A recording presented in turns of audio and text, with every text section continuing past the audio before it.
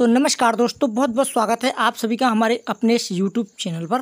दोस्तों, जैसा कि आप सभी लोग जानते हैं कि जब से आरबीआई की गाइडलाइंस निकली है ना, तब से काफ़ी पे लेटर ऐसे हैं जो बंद हो चुके हैं और कई पे लेटर अभी भी वर्क कर रहे हैं, लेकिन कुछ समय बाद हो सकता है वो बंद भी हो जाए। आज हम फ्लेक्सी पे पे लेटर का लाइव टेस्टिंग करके देखेंगे कि फ्लेक्सी पे के अंदर जो हमको लिमिट मिलती है, क्या हम इस लिमिट को बैंक में ट्रांसफ़र कर पा रहे हैं या फिर ये भी भाग गया? ठीक है? तो आपके सामने लाइव प्रूफ सब कुछ मैं दिखाने वाला हूँ। तो वीडियो को आप शुरू से लेकर एंड तक वॉच ज़रूर कीजिएगा। ठीक है? यहाँ पर मैं फ्लेक्सी पे एप्लीकेशन ओपन करता हूँ। ओपन करने के बाद यहाँ पर लिखा है स्कैन नाउ पे लेटर यानी कि आप स्कैन करके पे लेटर का पैसा बैंक में ले सकते हो। ठीक है? ये पे लेटर दोस्तों, बहुत पुराना है ओल्ड पे लेटर है और चल रहा है अच्छा खासा, ठीक है? तो मैंने सोचा क्यों नहीं? अभी क्या है आरबीआई की जब गाइडलाइंस निकली है, जिसके रिलेटेड काफ़ी पे लेटर बंद हो चुके हैं तो ये भी तो नहीं बंद हो गया। इसलिए मैं आपके सामने लाइव टेस्टिंग करने जा रहा हूँ। जो भी रिस्पॉन्स होगा, वो आपके सामने होगा। अगर ये पे लेटर चल रहा है तो आप इसको इंस्टॉल कीजिएगा और मज़े कीजिएगा, ठीक है? चलिए, हम इसमें लॉगिन हो जाते हैं, ठीक है फ्रेंड यहाँ पर हम पे लेटर में लॉगिन हो रहे हैं और यहाँ पर हम पे लेटर के अंदर लॉगिन हो रहे हैं, ठीक है, यहाँ पर लोडिंग ले रहा है।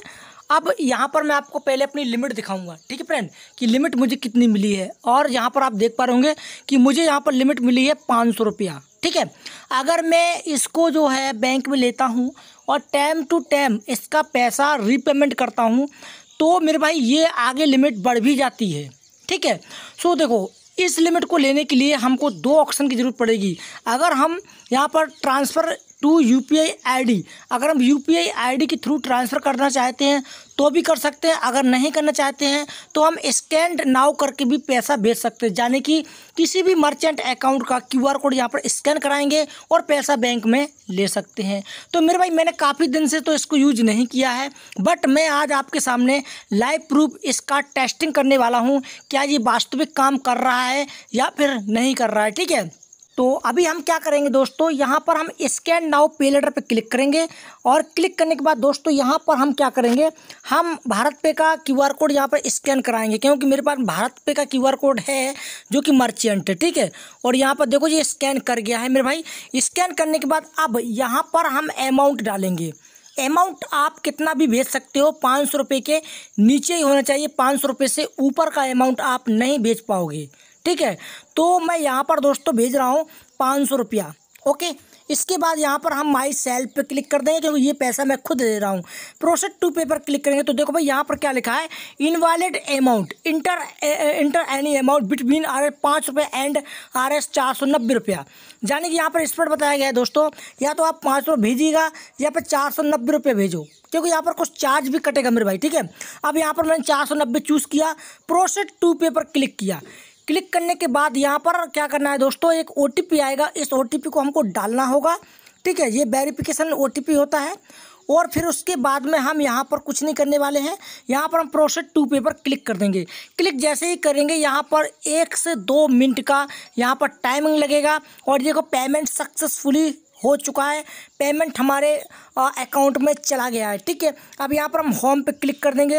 होम पर क्लिक करने के बाद दोस्तों, यहाँ पर मैं आपको दिखाऊँगा कि मुझे, मेरे पास में कितना लिमिट यहाँ पर बचा हुआ है फ्लेक्सी पे के अंदर। देखो, पाँच रुपये बचा हुआ है। ठीक है? ठीक है फ्रेंड तो पाँच रुपये ट्रांजेक्शन चार्ज लग गया है। ठीक है? मेरे अकाउंट में पैसा आ चुका है। नेक्स्ट डिवाइस में मेरे पास में जो है भारत पे अकाउंट है। इसलिए मैं आपको दिखा नहीं पाऊँगा, ठीक है? यहाँ पर आप देख लीजिएगा, ये पेमेंट सक्सेसफुली चला गया। ट्रांजेक्शन पे हम क्लिक करेंगे।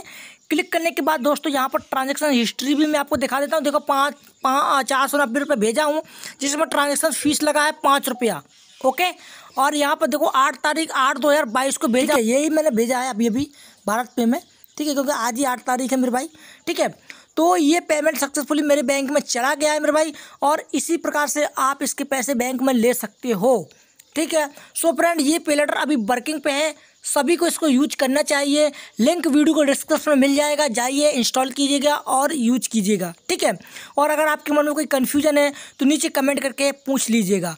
मिलेंगे एक नए वीडियो को लेकर के, तब तक के लिए जय हिंद, वंदे मातरम।